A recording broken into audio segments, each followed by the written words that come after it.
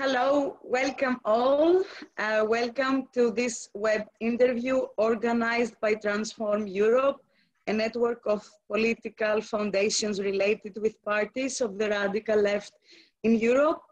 Uh, this web interview under the title The Left Reflects on the Global Pandemic uh, invites uh, Professor Gayatri Chakravorty Spivak.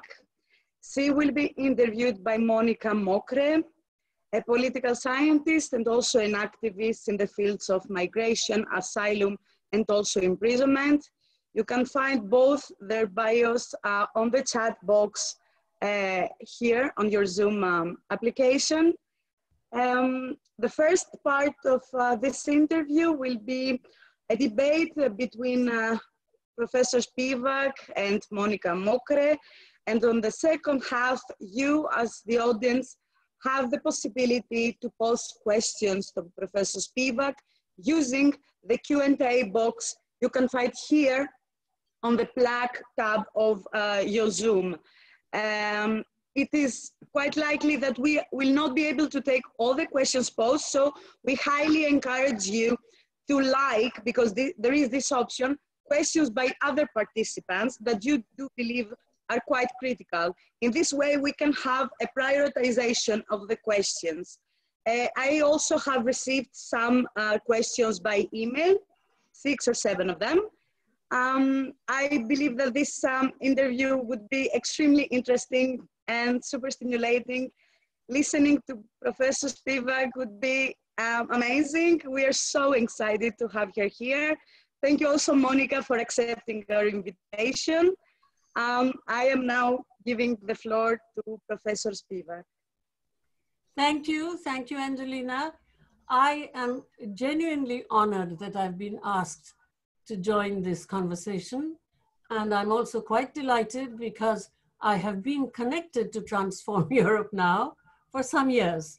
And uh, therefore, from a position of solidarity with them and a position of from within, as a kind of auto critique, I would say, that in the web description, when we read, we, that is to say, uh, left scholars, intellectuals, politicians, are active day by day, driven by the needs of our communities, already reshaping the way we do politics. We are building solidarity, solidarity networks. The first question for me is who are the we. Because I believe that one of the problems with the left have been, as a result, in fact, revolutions collapsed. And this is something that they could not avoid because of pressure from the outside vanguardism and organizing. This is structural. They couldn't do anything else. Right after the Bolshevik, Bolshevik Revolution, there was the Brest Litovsk Treaty and the new economic program. But I think the problem has been that we have taken motivation for granted and vanguardist, in a vanguardist way organized. And I'm not alone in saying that we should pay more attention to our own position in terms of top down philanthropy and directives before we can say that we are reshaping the way we do politics. And I believe whatever I say today will reflect this feeling on my own part, because after all, I am also, I have been a leftist activist now since 1957. I can give you my records, but I don't think that's appropriate for this conversation. I want, in fact, also to say that in terms of uh, the United States, I would like to take a motto, which is not from the radical left, but from a West Point graduate who writes, citizens relinquish money and authority to governments first and foremost in exchange for protection from threats that they, as individuals and communities, cannot hope to confront. By outspokenly rejecting this fundamental responsibility, our federal government, he's writing, he's a West Point graduate, our federal government has clearly illustrated that America is a failed state one whose institutions no longer serve their intended purposes. This is not something that I have said, but I take this as a motto as a nearly 60 year resident of the United States. So I want to start by speaking about the Rohingyas. As we consider this phantasmagoria of biopolitics, let us start with the Rohingyas. According to the United Nations, they are the ethnic Muslim group that is a victim of genocide, at least since 2017, with rape used as a weapon by the majority ethnic Buddhist state and military of Myanmar or Burma. They have been in camps in Malaysia, which wants them to leave, although they have become leverage in party politics. And, the, and they have been in camps in Bangladesh. At the moment, because of coronavirus, the NGOs have left them. UNHCR has left them. And of course, they have no way of making themselves safe from anything. Here, at least, we can suggest a course of action for the international community. Work with a large international civil society organization, bonded as they are with corporate funding, to turn them around persistently so that they can be active with the Rohingyas again. I say to the unemployed PhDs at universities in the Euro US, where I teach that this is a field where there is employment and work to do. The Rohingyas are often in wooden boats in the open sea, where men live crammed below deck with only space to crouch. It's like the middle passage. Women and children are above deck, but all struggle for food, around half a cup of water on a good day, and a couple of mouthfuls of rice at 4 p.m. Refugees are beaten by the traffickers, people are reported as dying on these boats. Médecins Sans Frontières, which treated some survivors when they made it back to Bangladesh, including some children, said that most of the survivors couldn't stand or walk on their own when they reached the shores.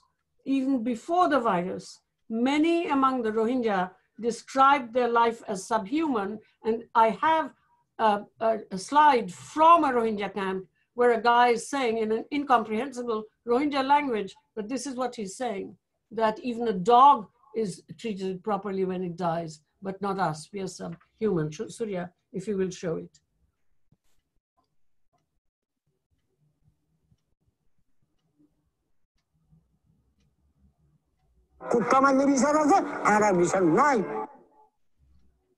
Um, uh, now, uh, Monika, you asked me a very interesting question, which you sent me this morning, about the Rohingya, and I wondered if you would like to ask it now. Well, thanks. Of course, I would, Gayatri. Um, so, thank uh, thank you for this insight or the many insights. Um, and somehow I see my function as linking that also the situation in Europe and also in Austria um, and I read up a bit about the Rohingya after you, uh, I saw your presentation. And today I read that Malaysia has hindered a boat with 200 people to land due to the fear of the virus. And in Bangladesh, uh, these overcrowded refugee camps are locked down, and recently arrived refugees are brought to a remote island. And this reminded me very much to the situation in Europe because I think it's structurally the same, not maybe uh, in terms of brutality, but structurally. So we have we have these camps in Greece and in Bosnia. We have the situation in the Mediterranean. We have boats which cannot enter Malta. But even here in, in, in Austria, uh, where the, the situation is better, it's a very rich country and there are not many refugees. But still, some days ago, I mean, for quite some weeks now, actually since the beginning of the crisis, activists said you have to bring these refugees to decentral uh, lodgings. And this is not difficult, as I said before. It's a very rich country, not many refugees. This did not happen. Now, in one of the big camps in Vienna, you have uh, over 20 infected people. So this was evacuated to another camp, one big hall for 400 people in Vienna. Um, and on the other hand, while we are speaking now, people are deported from Austria to Georgia, to Georgia in the Caucasus, obviously. Um, in spite of the fact that borders should be closed, that it is said all the time, the primary aim is to save lives. Now, um, thinking about the situation and reading through the material you sent to us and sent to me, um, you referred there uh, to the Kant Kantian sublime, um, to the virus as a kind of that it could be understood as something like the Kantian sublime, which is threatening and uh, people and which is uh, uh, which uh, evokes fear, and that people, human beings, uh, can resist by their moral will against this virus, against the sublime. Uh, and so you wrote, the moral will should lead to the golden rule, treat others as you would like to be treated yourself. This does not emerge in the current context. We are no longer civilized in Kant's sense. So I would ask you to elaborate on that, on this lack of civilization, its causes, and maybe also on ways out of it. Wonderful. This is really a terrific question. And I do believe that we should try to make these kinds of structural connections as long as we don't think they're exactly the same as you don't. This is very important. But I would also like to give here a, um, a, a difference, which is the Rohingyas are not migrants. They, in fact, Burma came to them rather than they to Burma because they have been in this area of the Arakans before they were called the Arakans, before nation state formations could give names to these kinds of groups. They are like genuinely like, uh, like indigenous communities without names in this area. So therefore, for them, they are stateless in a way that gives, makes me feel that they're a limit to my discourse. That's why I always put them on the threshold because this is not a situation of migrancy. And uh, so, Angelina, is there, are you telling me something? I can't hear you. You've muted yourself. Un unmute yourself. Excuse me. I just want to ask from Surya to unshare his screen because we still the, see the screen and not the speakers. Okay, so what you should do, Surya, is just show the Ai Weiwei thing and I'll make a comment on it and then you can take the screen away so that we see the uh, speakers. Thank you, Angelina. Show the Ai Weiwei thing, if you can. Yes, there you are, show it. Okay, now this morning I received from, uh, from an art historian friend of mine, this wonderful Instagram from the very well-known Chinese dissident artist Ai Weiwei. Again, this is a fantastic thing.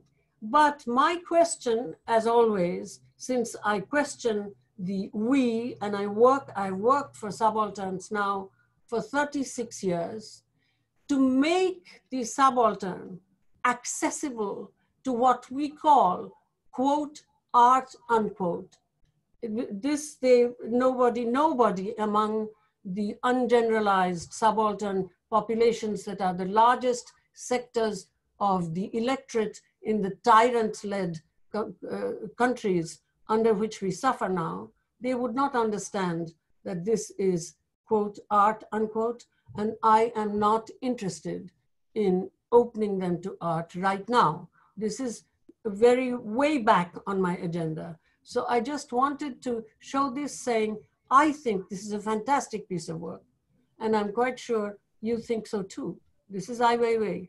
But the difference, since that's what I will speak on, between ourselves as we wanting to create new politics and the world as it is, it is also reflected by this fantastic piece of work that I was sent yesterday. Thank you. And Surya, yes, take it off. Wonderful. So now I think what I will do is I will speak for my two hometowns. One of them is of course Calcutta, but behind me you see my favorite bridge in New York going to from JFK to Manhattan. This is the little drawbridge built in 1895 that I cross. Hardly anybody would think of it as part of my New York so I put it there. It is also my hometown. But the, for speaking for my hometown in Calcutta, being safe, masked and gloved, and physically distanced against COVID 19 is there as here for the middle class. I want you to look at two pictures.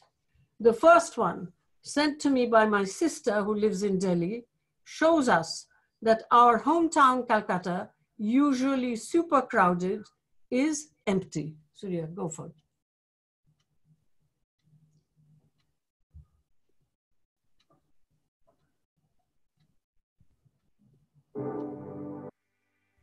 It's completely empty. These places are unbelievably crowded. This, by the way, is where my uh, university is.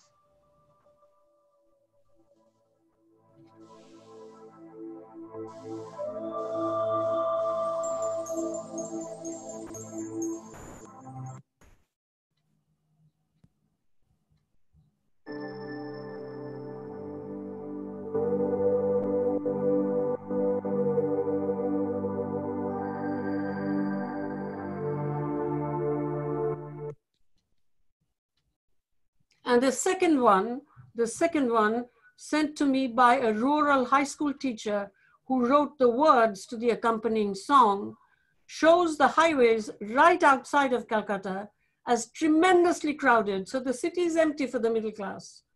And the uh, highways, which we don't notice, are tremendously crowded with migrant laborers walking home hundreds of miles to die. Here are the two slides. And this relates to what Monika said about migrants, migrant laborers. They're not just in Europe. So let's look.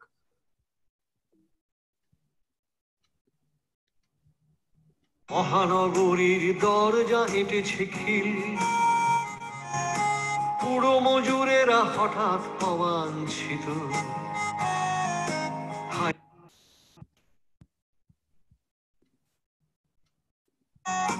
Champaran কি বালিয়া তাদের বাড়ি একশো কি দুশো অথবা সাতশো mile And they're walking the, these miles because they feel that it's better to walk home and die than to remain uh, unprotected in this town which will not accept them anymore. So this is class, but also politics. I want to show uh, why am I doing this? Because quite often Europeans will look at India as a kind of monolith. I mean, I've lived in the United States teaching at a very well-known university for nearly 60 years, 56 years, teaching four years as a graduate student. But I'm still sold as a quote Indian unquote. So there is a certain kind of monolithic uh, um, statement toward the global south. And I'm asking as someone from Calcutta not to do it to my, my, uh, my collaborators on Transform Europe. So it's also politics. I will show a so-called, quote, rural video. In order to have solidarity, one must try to earn the right to understand this kind of stuff.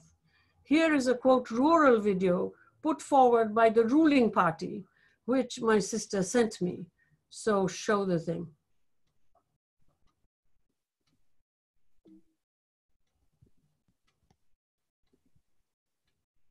পূর্ব মেদিনীপুর জেলা শহর চণ্ডীপুর ব্লকে হবি চকে ঘর।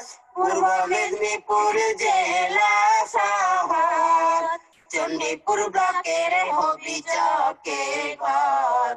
গীত রচনায় চিত্র কর করিয়া বেদন। ও জনগণ। সবাই মিলে হও গো সচেতন। সবাই মিলে হও গো সচেতন।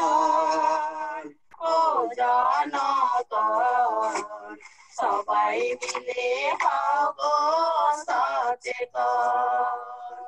সবাই মিলে হও গো সচেতন। ও জনগণ সবাই মিলে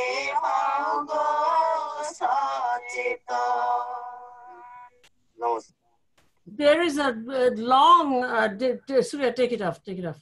uh, there, there is a long uh, uh, exchange with my sister, which I'm not going to read because obviously we don't have the time, but I'm only going to read the first comment I made to her. My sister lives in Delhi. She sent me this. And I wrote to her, this is reminiscent of Trump. Not a word about cleanliness or distance, just standing close together, singing from a written script. The government woman has, adjust, has is doing her, uh, just doing my job expression. She's the one who's sitting down. The song says protest is stupid and the government will give you money. I don't play the whole song. Sung on behalf of the BJP Panchayat in Chandipur block, East Mednipur. How many villagers do you think are taken in by this? So in other words, they're not dumb. This is part of party politics. How many villagers do you think? I mean, I work in the villages. I know very well that they would recognize this for what it is. How many villagers do you think are taken in by this? I write to my sister. Sorry to be so critical, but I know the violence behind this kind of propaganda so very well at home, that is to say, so personally. There's so much killing going on. And so she, I won't write, read everything. She writes, why should, you should I think you were scolding me? I sent it to you to give you some idea how things could be. Things in North Indian cities are very different. And then she writes about the migrants herself but I don't have the time to read that. Now, the um, so uh, the when we have to uh, when we have to talk about the sublime here, and Monika, I'm so glad you asked me that question because you know I am learning, which is why I was so delighted to get this invitation. I'm learning as I'm thinking of how to speak to my European sisters, as I call you all. And I realized last night that it is actually a failure of the sublime because the sublime suggests that we find our solution because this is a huge thing, a natural thing. The sublime is always natural and the, it frightens us. It's so big, it's bigger than humanity. But then by subreption, the moral will kicks in and so we are able to control it. But in fact, what I want to say is that it is a failure of the sublime, and in fact, it relates to the unbelievable release of humanism as a result of this uh, COVID 19 um, outbreak. I mean, for before that, there was a certain kind of feeling that humanism was not so good because we have to be post humanists, we have to think about animals and so on and so forth. But now what has happened is we can, as a result of this, give a certain kind of expression to a kind of unrelieved humanism. Now, why? And this is my, my thought on this. There is no medicine here. So therefore, what we are doing is human behavior is the medicine. You see, because we have, don't, don't have medicine, human behavior is the medicine. This is getting, and so therefore the middle class has, has transformed this into a kind of sentimental humanism. And what it's bringing in is family values. You know, there's so much talk about family values, which had kind of taken a bit of a backseat before, but now no longer, which this is completely possible. We are bringing in petty bourgeois ideology, like every small business has become the, I mean, jobs are being talking about, talked about constantly. You know, this morning I saw about school children's jobs being undone. And so therefore, it seems to me that what we are watching here is, now why do I like the Kantian Sublime, etc.? It's because you, this European Enlightenment is the only thing that remains for us for the uh, affirm what I call affirmative sabotage. They had a long time to develop a lot of things because there was uh, a long time between the development of capital and its slow uh, march.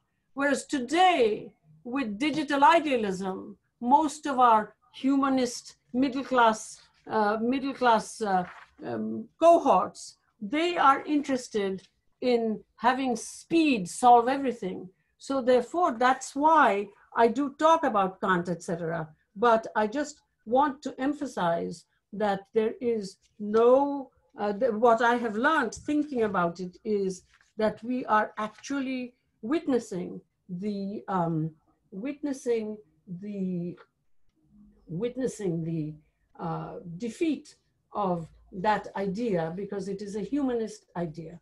So that's my answer to your question about the Rohingyas, that they are not only not migrants, but Burma came to them.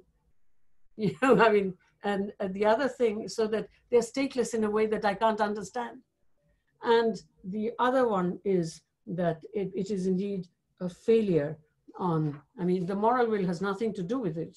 It's in fact because we have become so unbelievably eh, humanistic as a result of the fact that it's the medicine is human behavior and the middle class therefore can come forth and talk about its own family values and so on and so forth and petty bourgeois ideal, ideology of everything getting capitalized. I think that's why that's why i realized that it is not a question of the sublime but a failure of the sublime so i think uh, what i should do is go on to the next slide the um, which was i mean i'm not as well organized i should be but let me tell you that this is not a new thing Okay, so the um, I'm not reading any of the other stuff, so I will. The next slide shows us something. I'll say manufactured for the upper middle class. It's classical music with English subtitles. It talks about cleaning. It's a completely different kind of thing from the two that we've seen before.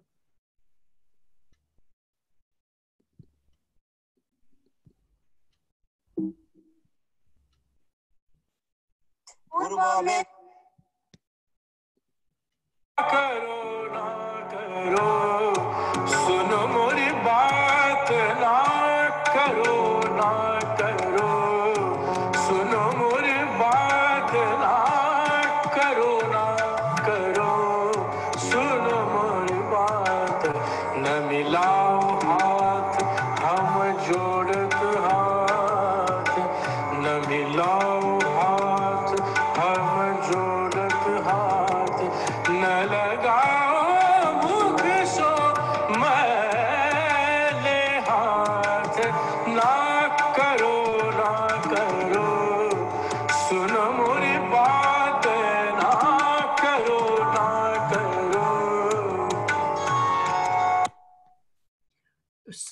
I guess what I'm trying to say here is that we should not, uh, we should not, in fact, um, monolithize, um, monolithize India or anything in the global South.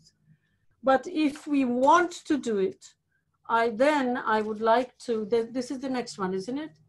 I would like to um, like to cite a a video put together by my friend Mithu Sen, who's a Bengali. She's not actually speaking any language on this one, so that you can follow her 10 points so that you can, in fact, monolithize us.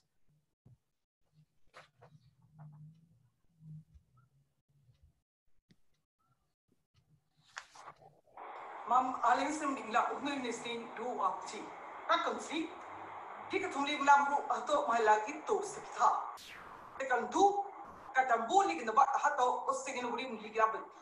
Tekan cik tak hindi tu aha atau ada mun nama jemim.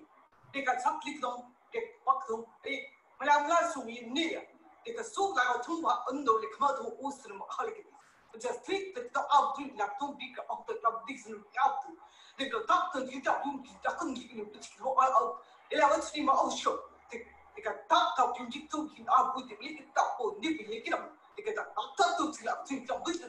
our policy. They got what is that the top the top room with the bullet so they get it out the them. Like a top top top top tick step to click to put a victim take out of this. Like a do is top tick top tick to the other. When you're doing the man, it's from the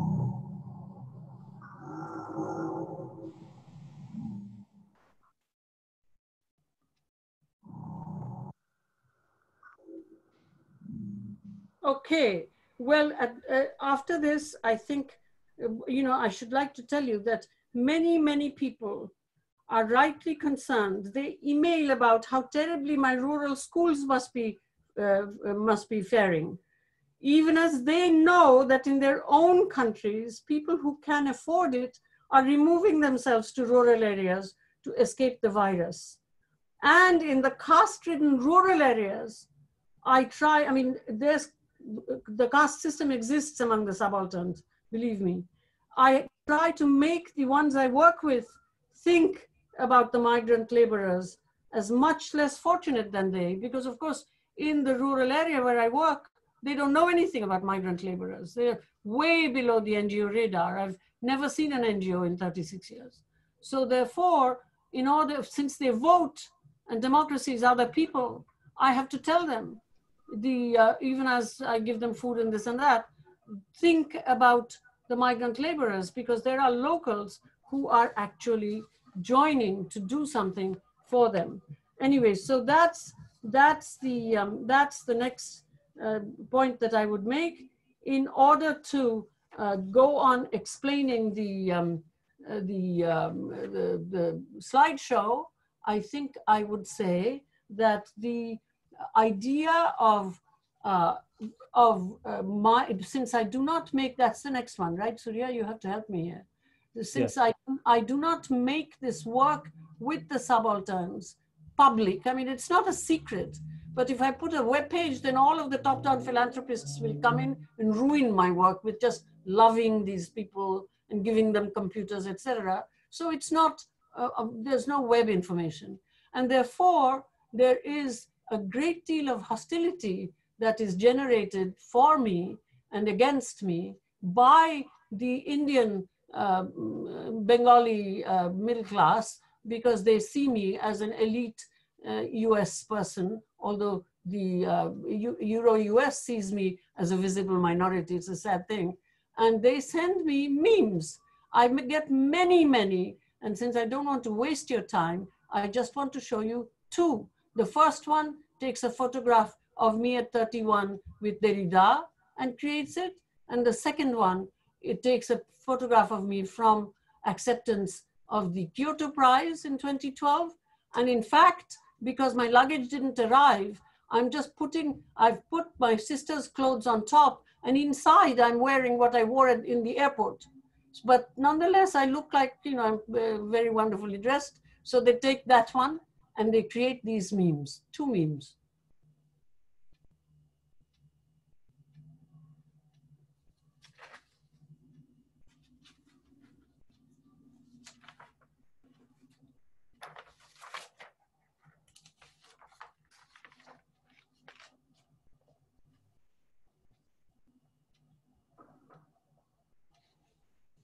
So this is my explanation of the of the um, uh, of the thing. Should I show the animal ones right now and then do with it, uh, get done with the uh, with the uh, what you call it? What do you think, Angelina?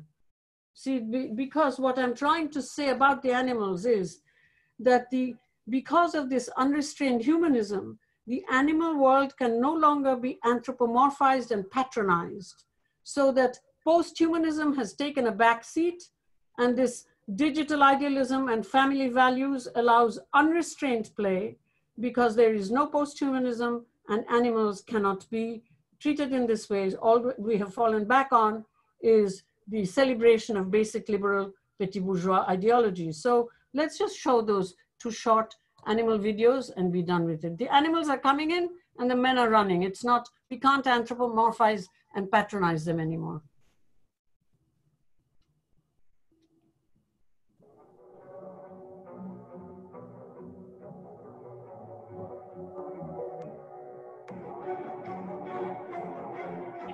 Actually lectured here. What the hell um, animal was that? And this one is a guy who's actually coming to supply milk. You see all that white stuff? But he's so scared, he leaves his milk and runs, and the elephant is contemplating the milk. See, so I just wanted to show these three so that all our kind of really self-serving post-humanism, which was just anthropomorphizing and patronizing. Can, now the animals, in fact, will not allow us to do that. And so we are back into the kind of humanism that is allowed. So I think at this point, I would ask, um, I would say that I'd rather hear Monika ask me the wonderful new questions that she sent me. Well, thank you, Gayatri. I think I could now ask another 10 questions, but then Angelina will kill us, I think. I know, Um, I we asked. no, no, so I will, yeah, yeah. So I will go along as I did in writing to you. Um, I mean, what you described uh, very clearly and and and uh, also in images is how the virus and also the like the protection against the virus is affecting different classes in different ways in India. And also you mentioned, which I think really interesting, this petit bourgeois reaction. But I, I will skip that for now. I think it's it's super super interesting uh, how this works because I see the same thing here, and even artists, you know, they start up now writing their Corona diaries, saying how nice it is to sit in your house in the countryside, and we should do that more, and we should not all the time be in contact and. Not thinking about people who are like 10 people in two rooms or something like that. So obviously, again, it's a similar thing here in Europe and in Austria. It's also class specific. It's not as brutal as what you described, but still.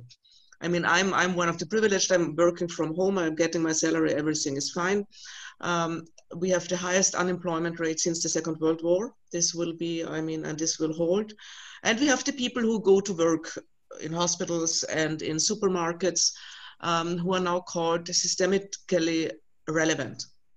Um, in other times, these are called uh, menial jobs, jobs without any cultural capital and also without a lot of, of salary. So this in itself, I think, is interesting.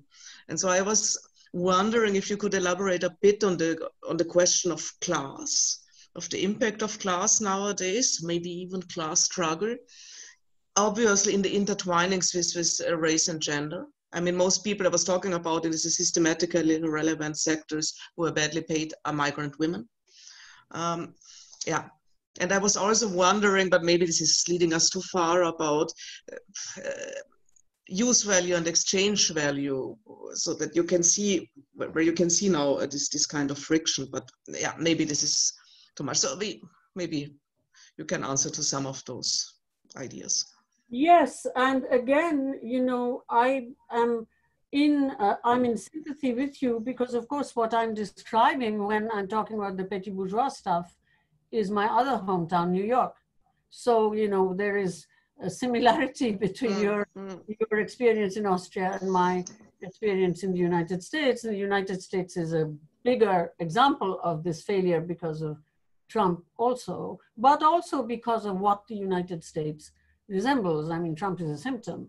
But at any rate, I so f- from out of this solidarity, I will say that the, I think uh, the, uh, the at this point, it is not really class, although class struggle is more important in the area where I work at home in the Mhm. in India. At class is not the biggest point because labor given finance capital. You know finance capital and my my uh, numbers will be wrong because these are from last month and it, they increase it goes around 75 times more than world trade. So to uh, so therefore given finance capital given cloud economies given the fact that a lot of money is not even what kant would call verwirklicht you know realized is a bad uh, English translation, although mutamo, it's okay. So uh, therefore, and given the fact that certainly uh, in the United States, managerial labor has become completely the big things are in fact taken over by management in many ways. So, and their permanent casuals are women and so on and so forth. The reason why, therefore, what the, the labor, therefore, is not the primum mobile of exploitation anymore. Both development, unquote, is. And to an extent, what we need there, and I've written about this, and I will say that dissidents in the former Soviet Union picked this up and translated it. Well, the real issue now, as we see also in India, is citizenship mm-hmm. rather than it's the it's the citizenship really examined in a very very careful way.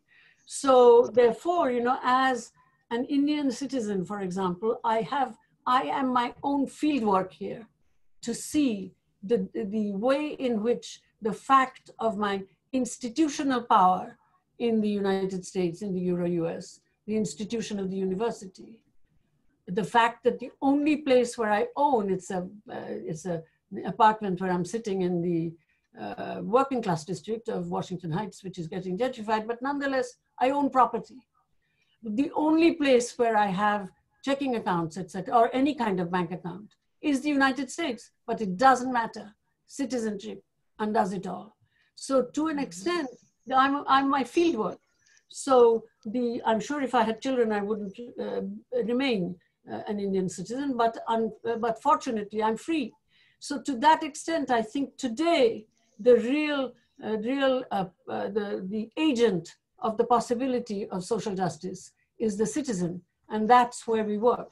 So therefore, class to an extent is not accessible to us in the way that it was, that it was. I'm not against class struggle.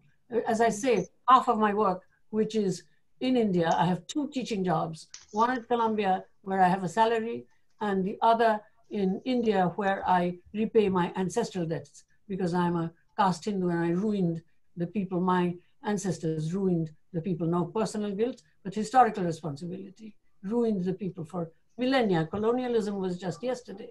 So to an extent, that's the, in, in that area, class struggle is certainly important.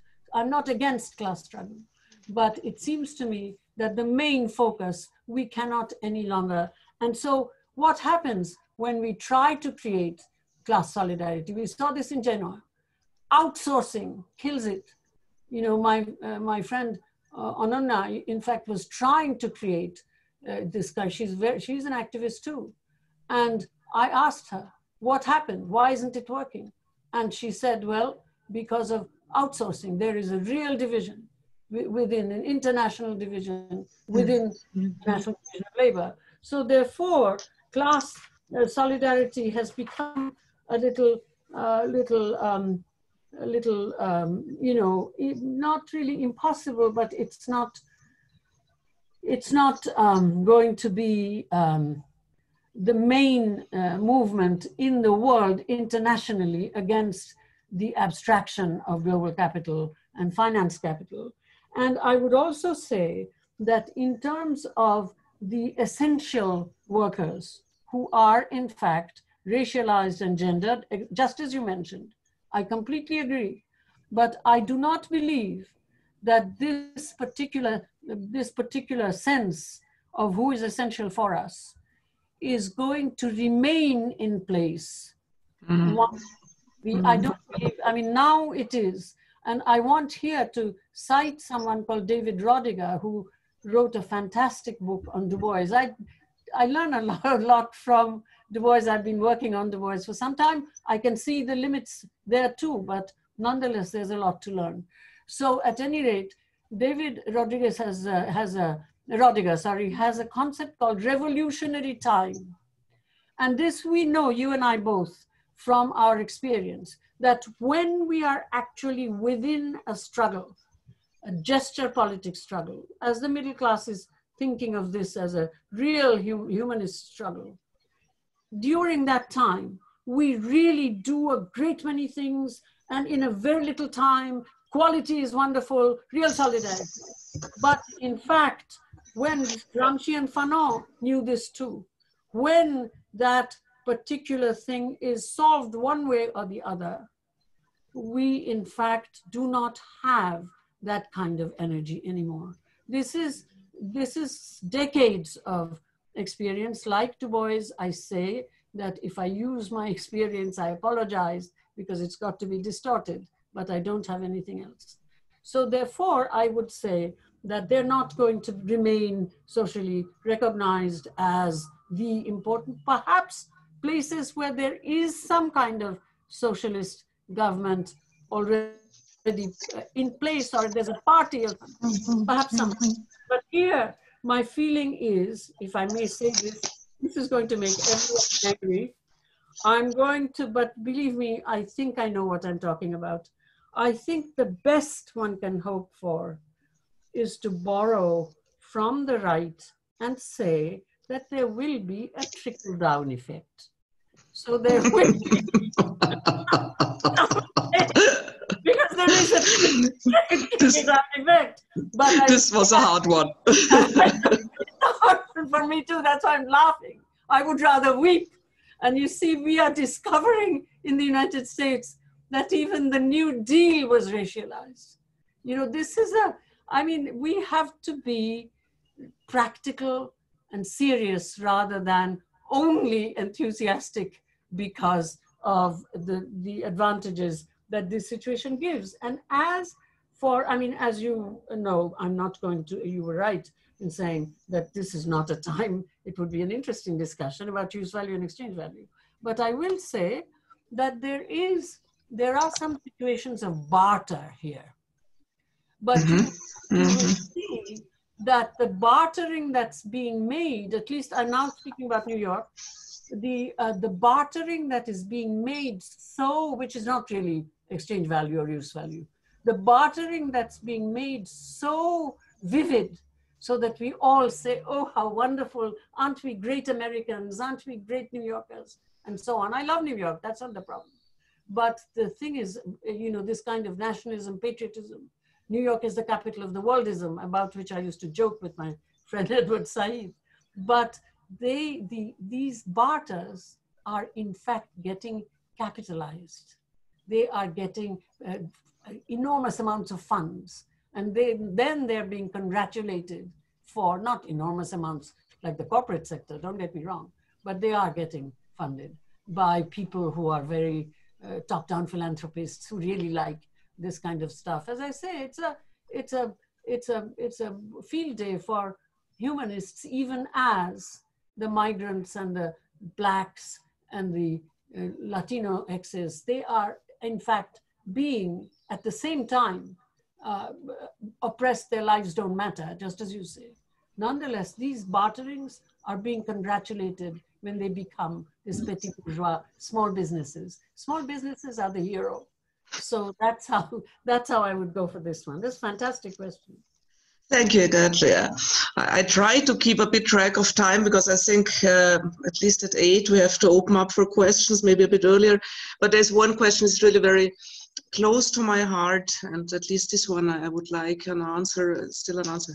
Many questions I said before.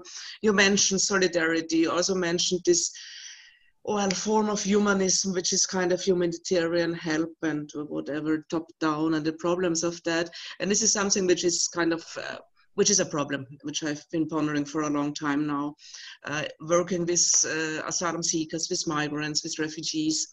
So somehow, do you see a possibility of solidarity, of working together on eye level under the context of radically and obscenely different privileges, which is what is happening in these situations? Do you see that? And if yes, well, how and in which ways can one frame that? And somehow maybe i'm wrong here but i think for me it also goes together with your focus on citizenship and on yeah legal rights structures systemic rights so rather than i don't know individual suffering or something like that. But anyway i wanted to ask a question not, uh, not Again, a very important question where I am not only with you, but I congratulate the desire. Unless we have this desire of creating a situation where it will be possible to, as you say, eye level solidarities, unless we keep this desire alive, even as we know as activists what an incredible amount of work will have to be done in order for this to become possible, perhaps not in our lifetime, and opened again because every generation is born un, uh, untrained into this kind of denial of the basic human affect of greed, which leads to capitalism, and then fear and violence. We know these things. As an educator, I certainly know these things but you know the the the idea that we can that this can happen must be kept alive in our minds. So I'm with you there. But I would say that, you know, in order for me to have solidarity with you, look how much I have put in. I read in your languages. I can teach you in your, you, I'm a Bengali middle class girl. There were no foreign language departments at the University of Calcutta when I was a graduate student. So I had all the French I had was one semester of French at the Alliance Française, the Centre Culturel in Calcutta, because it was a it was at least a capital city. So how much have I done in order to be, but still, of course, sold as an Indian. But how much have I done in order to mm-hmm. come forward and earn solidarity? So, and I will also say this that the migrants do better than these we the you know upper class upper middle class uh, people in creating. I, i'll tell you a story. There is this novel by peter dickinson who's just you know british counterintelligence went to eton and so on. But we don't need i mean if we are marxists we don't believe that it's personal intention only it's ideology also this guy wrote a book which i would teach in my ethics class called poison oracle where the chimpanzee solves the problem, which is very easy, just a rational problem. But so you, you can do it with a primate. You don't even need a so-called human being. And then the anthropologist, you see what happens when uh, uh, someone like us begins to earn that right, learning languages, this, that. They become anthropological and reverent towards, at least I'm not reverent towards Europe anymore. It's been a long time but nonetheless, they become reverent. And so in this book, the anthropologists are like unbelievable about the language, etc. But the migrant, uh, a girl from that and uh, that community stows away on a on a on a on a on a plane. She has learned very quickly the formula which is going to explain Europe to her, and she's doing it in her local cultural way. She begins to sing and what is her song? Cause and effect, cause and effect, cause and effect, cause and effect. Okay? In a Cockney uh, thing, Cockney accent, because that's the only accent she has heard. So the thing is, you will see that generally speaking, the uh, migrants do a better job of actually uh, uh, earning the right to enter because their life depends on it. But even there, of course, greed operates unless there is teaching. Greed is across the board, not just the capitalists. So to an extent, I would say that, you know, I mean, uh, this humanism that I'm talking about, I regularly visited Africa because I have, I do things in Africa, but uh, the, during Ebola, they were not, not because I was a, heroic person, but they were doing a much better job of containing it you know, even in small places like Abuja, for example, before the Chinese built the airport. I was in Ghana while there was Ebola in another section of the city. They, because they were looking at it as an epidemic pandemic rather than some kind of uh, festival. And they were not, there were no nationalism there because Africa, unfortunately, is used to accepting aid. They're told they should. So they took, they themselves worked, but they also took uh, help from other countries for the solution, etc. I was there all the time. I mean, my family would say, my God, you're going, I said, look, I won't die because there are people in the area where I am. It, it's not going to happen. And today I read the, this kind of, not yesterday, there was a Central Africa, there was a kind of COVID action platform. And they have not, Dr. Daryl Bricker, Dr. Tom Frieden, they were, they're all sort of uh, infectious disease and public health a physician, World Health Organization, regional director for Africa, etc. They have not understood Africa. They are trying to apply. I'm not saying Africa is wonderful, but I'm saying that in this particular matter, they are much more practical because they take an epidemic as an epidemic. And so the what happens, and so they have uh, created a kind of uh, document which applies our standards, the ones that you and I share, that they, they have uh, tried to tell us about Africa's problems. I mean, Africa certainly has problems. My, uh, my, uh, I hope, in fact, Oluwaseun is watching this. My friend and um, intern, young man, um, Oluwaseun Akinfenwa, he was somehow, you know, we all kind of put in money, etc. He was somehow able to get on a plane uh, to go back to uh, to a, a lot of money to go back to Africa day after tomorrow because uh, all the airspace is closed. So it's not like Africa, and he'll have to be three weeks quarantined in a hospital space, small city he lives in, Ilorin. But the thing is that this particular thing, I'm not, I do not admire and uh, uh, fall over for any nation state in the world, including the Republic of India, which I love in a certain way because I'm a citizen, but love is not political. It's pre-political. I can't help it. And including the Republic, including the, the United States, where I have thousands of American students whom, to, with whom, whom I've tried to teach as much as I can the difference between right and wrong so that I feel like I also vote here because they vote. But nonetheless, I'm, I'm not critical of uh, I'm not, I don't love the United States, but it, I don't love, love nation states, named nation states, especially since globalization, which is digital and abstract, it has in fact tried to, uh, to, uh, to propagate the, um, uh, the idea of identitarianism so that all of this is forgotten.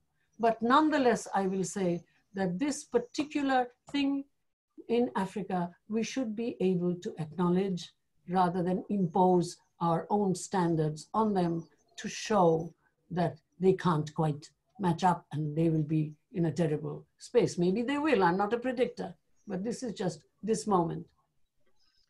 Well, Gayatri, thank you so much. As I said before, I could go on for hours. I should not. I think we should show solidarity with the people who are listening and maybe want to ask questions. Angelina, will you take over now? Microphone. Angelina, microphone. Unmute yourself.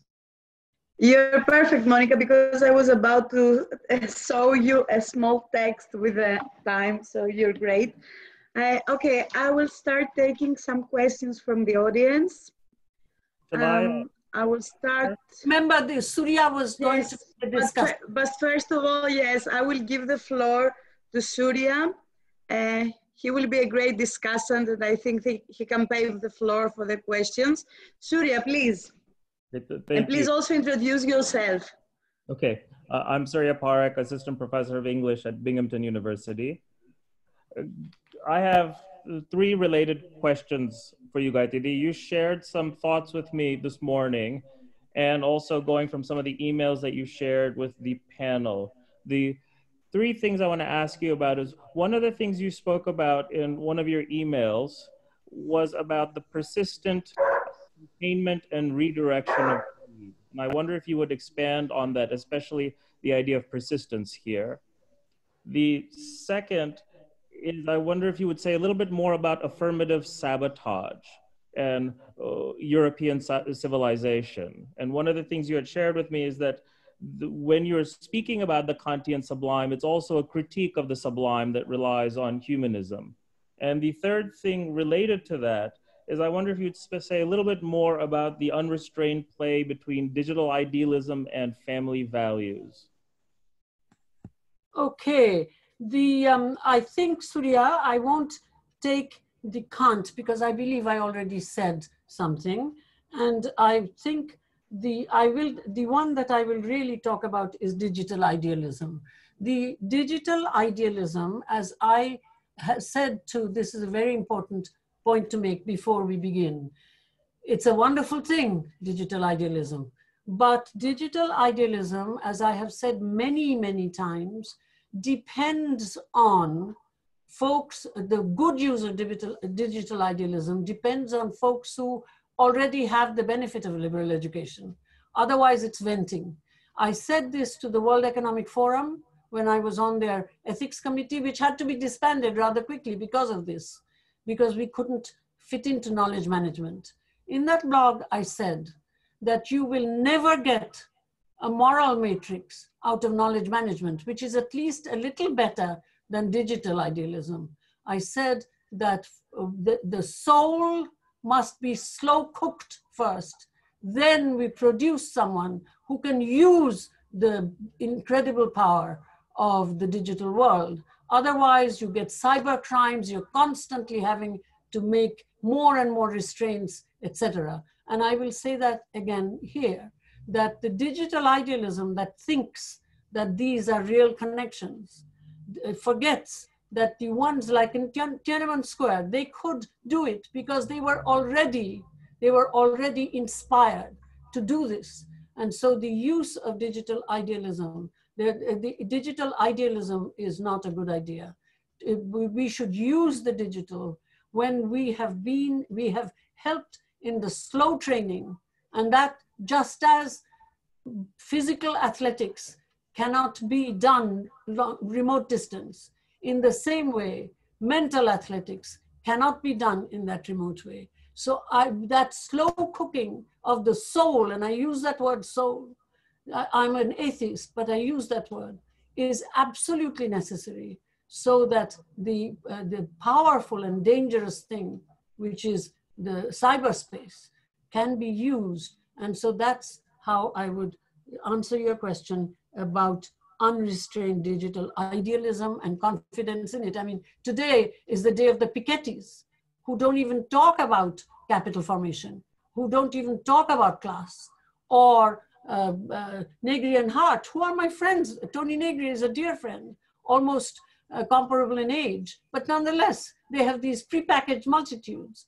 Today is the day for these folks today is not the day, not only for class struggle, but even for the fact that the subaltern is ungeneralizable. How many people are there in the world to whom this kind of digital idealism is not available at all, number one.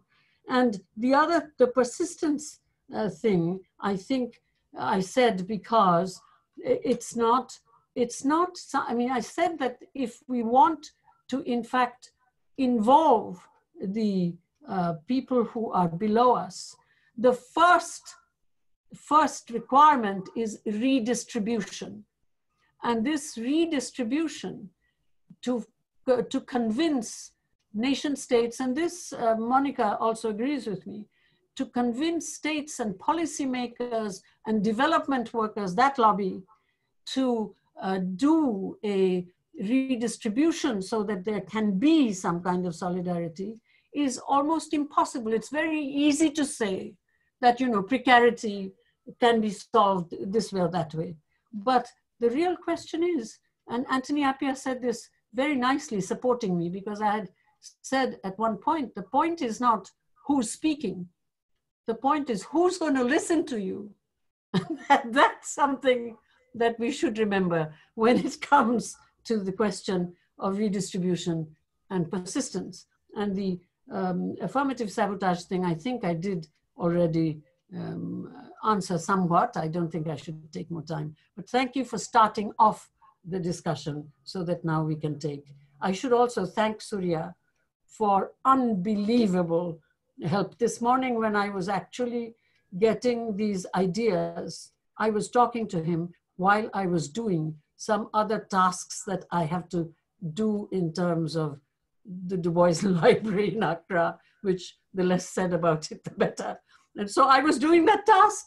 I was saying, Surya, and, and I was saying to Anne, listen, I'm talking to two people. Surya, write this down, write this down.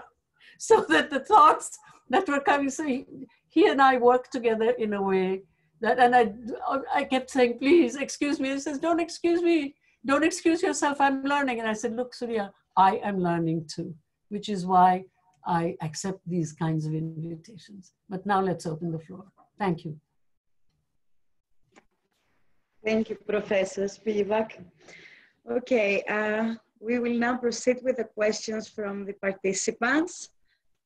The first question, do you think that the COVID-19 has given space for us to think about nature, which seems that regains its lost beauty and the animals have regained somehow a freedom to move inside this world?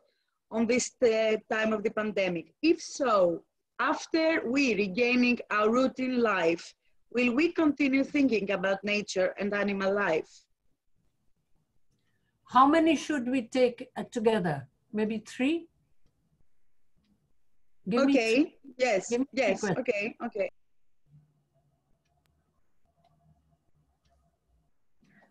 Do you think that the pandemic um, is taken as an excuse by various countries worldwide to suppress minorities, loot money from the public, and impose also their sinister agendas? And the third one, um, the most important question is um, that the international labor faces today is of its very existence in another future world order. The fourth international revolution of ICT, robotics, and biotechnology had already altered the modes of production and consumption and had beleaguered labor very, very badly. So, in such a critical situation, what possible turn is the global economy going to take, and what will it mean for the future of labor? Okay, the uh, COVID 19 and nature. See, that's why I showed those animal uh, slides that, you know, they're not, they can't be, uh, but they can't be uh, patronized right now by us. And so, number one. But I will say this that, you know, the ones who already love nature, like you, the questioner, and me, I, I, I'm a city girl, so I've learned to love nature in a kind of different way. But nonetheless, uh, because I work, uh, because Marx says that the capitalization of agriculture to, into agribusiness is primitive accumulation. You don't even need industry right then. So therefore, I have a feeling now. And so I think those of us who already love nature will continue to love it and remember, you know, everything becomes memory. Do you uh, I really like your question. Do you see how many people talk? I, I, don't know if you're in the United States, but certainly in the United States, many, many people talk about we remember my grandparents. I now remember how my grandparents talked about the Great Depression. Yeah. And so I, we think, and how they talked about the, uh, the plague and, you know, the, uh, and I remember uh, as I was growing up, the huge famine and the uh, Mahamari, you know, the, um, what is it? I mean, I think of it in Bengali, right? It's, it's also a pandemic, okay? So those kinds of things, I grew up in a cholera infested time. So those kinds of things, those of us uh, who remember, you see, this kind of thing turns into memory very soon. So that you and I will remember how the skies were clear and how nature could be appreciated. And maybe before the world returns to quote normal, unquote, in other words, uh, capitalism with a little trickle down, uh, before uh, that, maybe we will be able to persuade a few people. Gramsci thought that the new intellectual should be a permanent persuader. And you can see from the way I, I'm kind of putting my life into what I'm saying, I try at least to follow that. So maybe we will be able to persuade some people. But my friend, my feeling is that it will not last. Okay, that's one thing. As for the uh, way this taking advantage of uh, the pandemic in order to forget other kinds of things that minorities want, my short answer is yes. And but the long answer is also not very long. Don't don't be afraid, Angelina. Um, uh, but the longish answer is, as I was saying, and as indeed um, uh, Monika was also suggesting, even as we are doing this kind of, you know, putting them, quote, in their place, unquote, we are also, we, the philanthropic, top down, uh, uh, middle class, um, enjoying our solidarities within this, we are trying to present ourselves as real benefactors. And some of it is happening. But, you know, uh, some of it is happening. How long it, it will happen, I don't know. I happen to live in a city where the mayor has some socialist instincts. And the governor is, has some liberal instincts. So to an extent, that's it's a little different. New York is not like the rest of the rest of the United States. So, but nonetheless, I would say that they're also they're being exploited in different ways. You know, because they can really be a proof of how good we are, not just how bad we are behind uh, everybody's back. So yes, I agree with that. As for the third question, I cannot really answer that question in any responsible way as to what kind of uh, what kind of direction labor will take I, because my own uh, as a humanities teacher my own feeling is although i'm not against this you must understand i'm just talking about what i can do my own feeling is that descriptive analyses that are correct, it's not enough for the left to produce them. And so to an extent, I also don't have the wherewithal to produce them. But nonetheless, I think that we have indeed come into what you call a new mode of production. But given the fact that uh, actual physical production, you see, the phenomenology of capital, which is what uh, Marx was haunted by Hegel. So to an extent, his critique of Hegel was that it was only about the mind. And he was correct, it's phenomenology of the mind. So to an extent, the, uh, as to what happens with that old, old, um, old uh, phrase, mode of production of value, the value form is no longer what it used to be. We remember Marx was capable, more than capable, very brilliant man indeed, of thinking that the value form is not forever. How much he wrote in praise of Aristotle, but he said he was, after all, a classical um, uh, PhD, the classical Greek, but nonetheless, he said Aristotle could not think the value form because in his uh, conjuncture, there was no possibility of the value form as that abstract unit, contentless unit of measure. And today, the value form has changed to data. And so it's not, in fact, the general equivalent is not money. So therefore, the idea, as it is, money is not capital. So therefore, within the context where the value form is data, and just as money was, money's phenom phenomenal identity was taken away from it when it became the general equivalent. In the same way, the fact that data is actually uh, uh, actually life material, uh, work material, that is forgotten. So to an extent, that th this thinking, the thinking of what is going to happen to labor as such, is a thinking that cannot be thought like a Marxist fundamentalist. Marx and Engels in their 1872 uh, edition, uh, introduction to the Communist Manifesto, wrote, and this is completely available. It's not esoteric. They wrote, forget the sections on revolution because big business has gone too far in the last 25 years. They're veraltet those sections. But we are not making a change because this is now a historical icon. This is what they wrote. You can go back and look and perhaps you know already. So therefore, we have to think our own thinking. We cannot do it in terms of that vocabulary. Remember, I'm coming from a state, West Bengal, which had a left government until they just bit the dust rather recently. So therefore, even as I'm completely in uh, sympathy with you, and even as I acknowledge that I do not have enough uh, knowledge to be able to really give a good prediction, you should ask David Harvey. And uh, at the same time, I would say that for me, the challenge of thinking, remember what Marx said about the content of the 19th century revolutions. And I quote, poetry of the future, poetry of the future.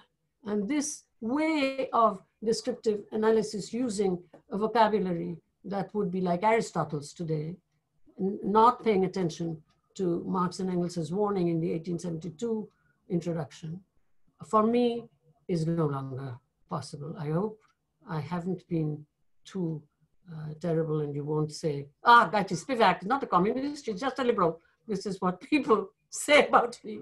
Perhaps I am. Okay, thank you.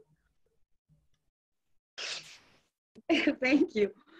Um, okay, we proceed um, with three more questions. Um, so uh, the first one, elites and the governments promise um, a return to normality, meaning the global capitalism.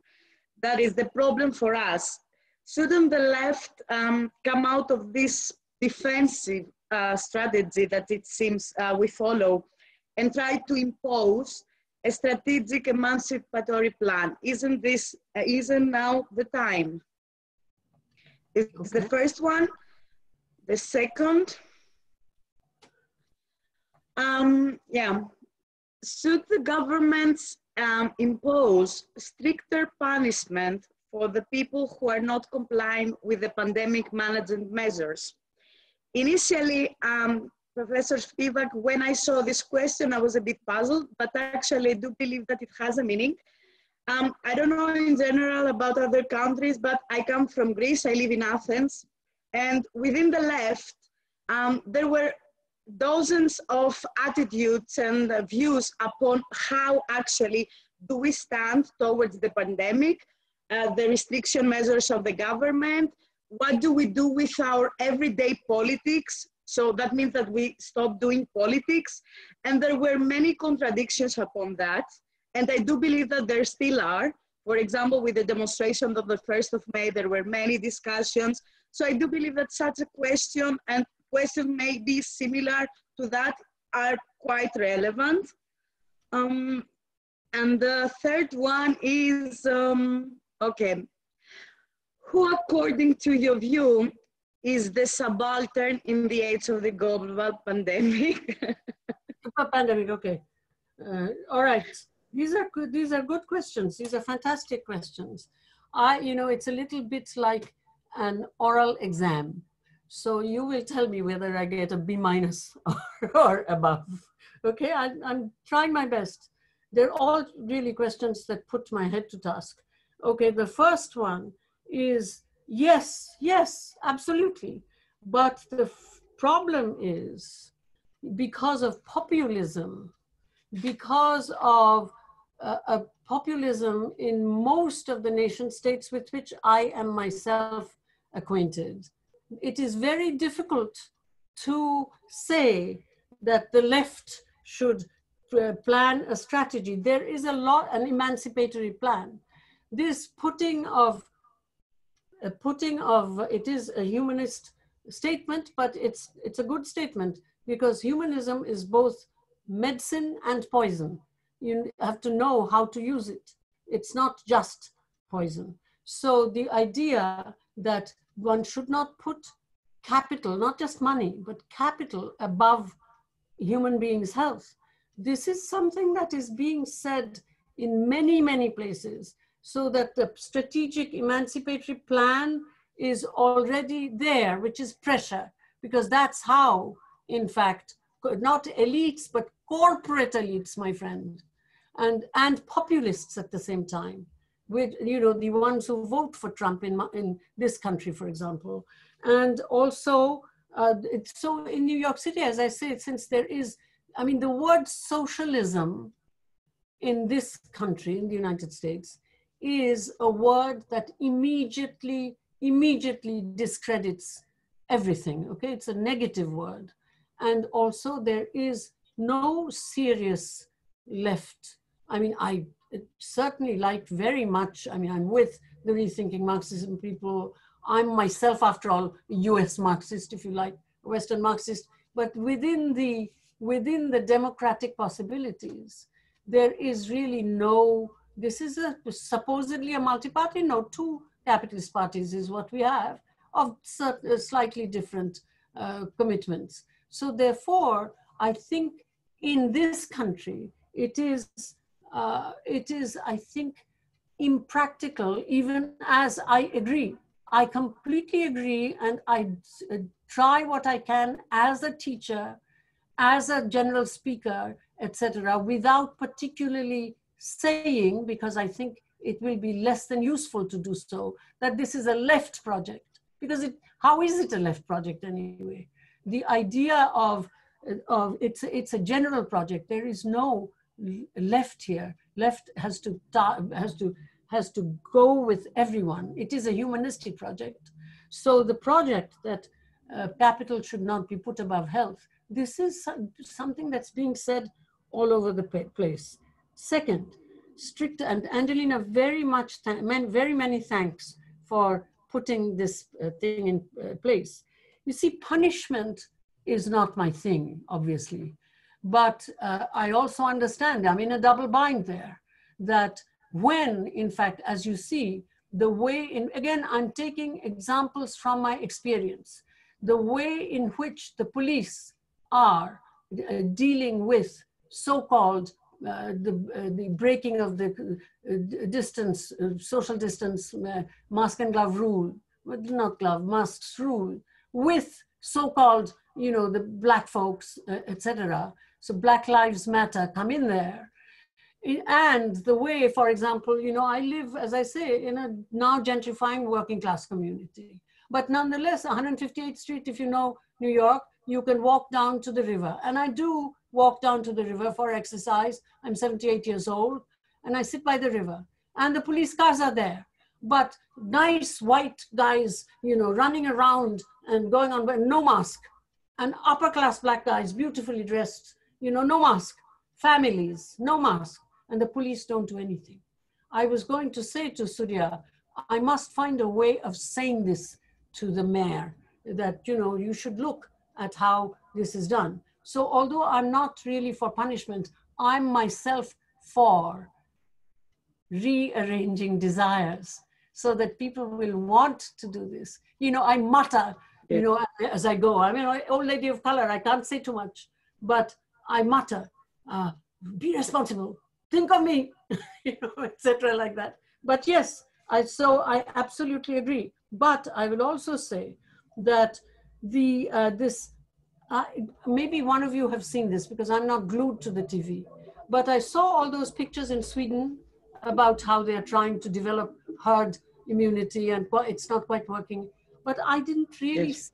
see any pictures of uh, asylum seekers and migrants. And many, many years ago, many years ago, I wrote a thing. I gave it, in fact, in Lund. And, I, and in fact, my audience said, and I was helped by Stefan Jonsson, who was then an editor at, at Dagens Nyheter. And uh, I, the Swedish audience said that it is shameful that the only person who gave a political speech is a foreigner, where I said that the so-called uh, socialist wonderful polity was breaking down as it was, as the asylum seekers from Rwanda, etc., were coming in. I didn't see that at all anywhere. Maybe there is. I mean, I haven't seen everything. And I will also say that the, as a result, this family values thing, right? Okay, we have to understand what's happening. Human behavior is now medicine.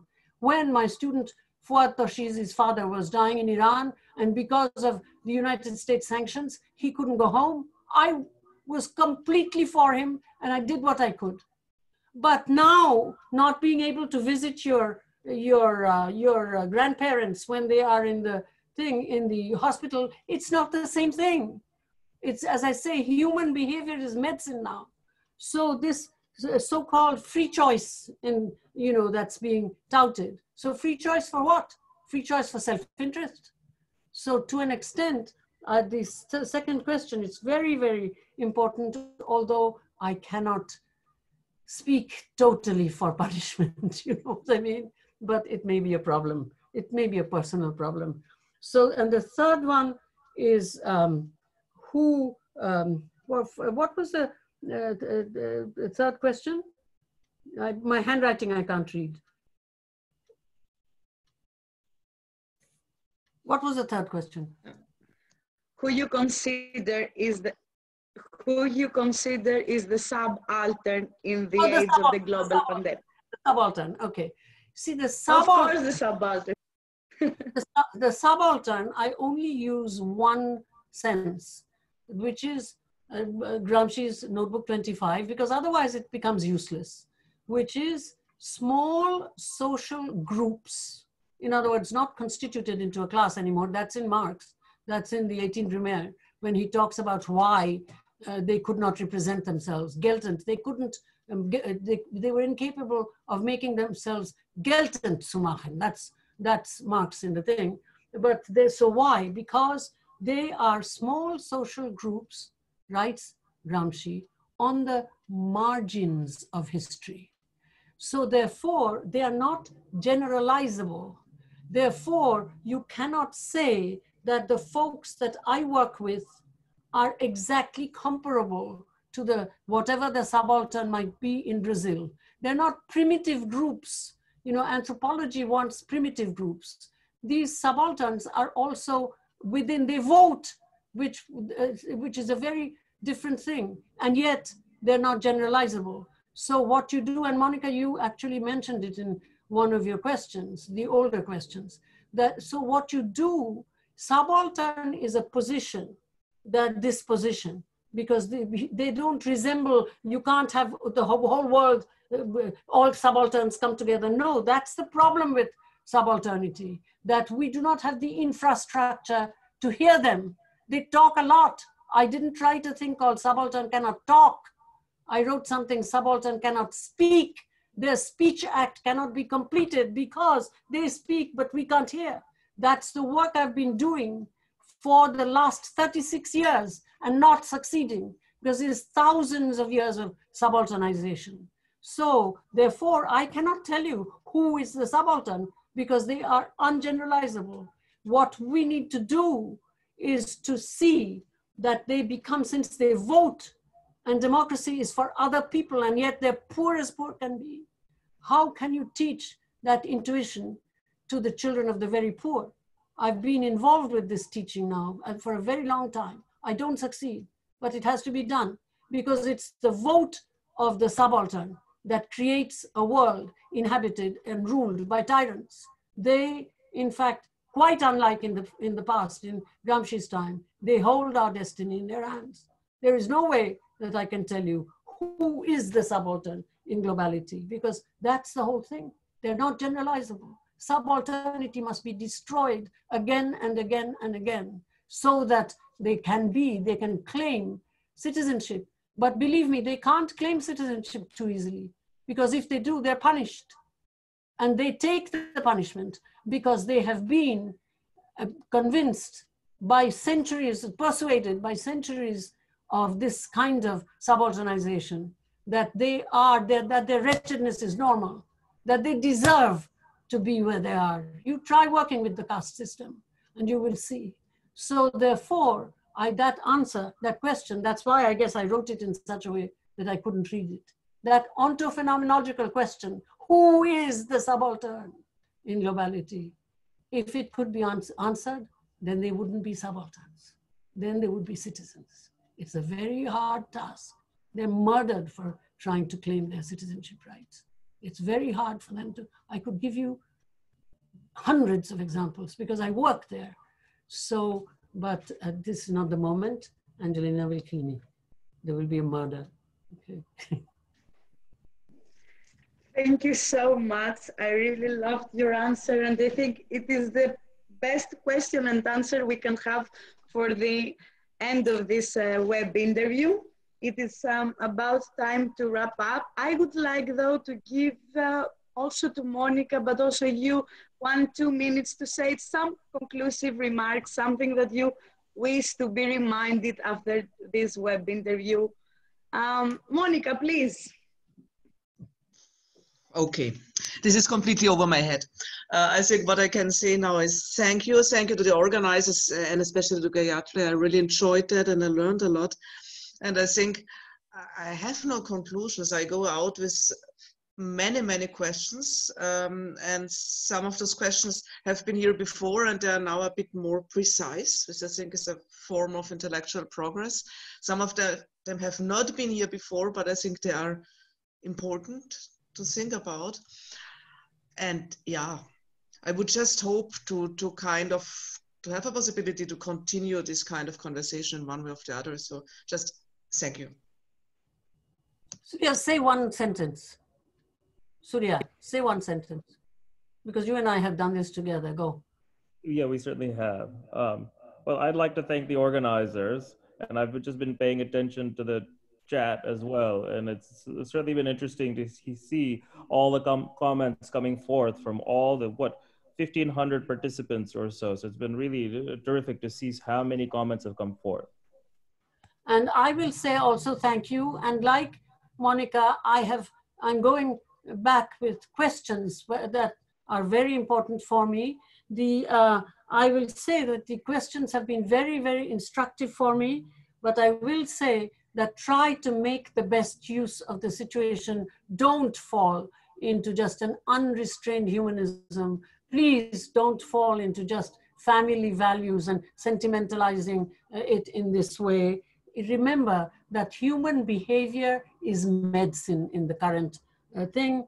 Love nature and do strategize for uh, uh, for uh, against this kind of so-called normality.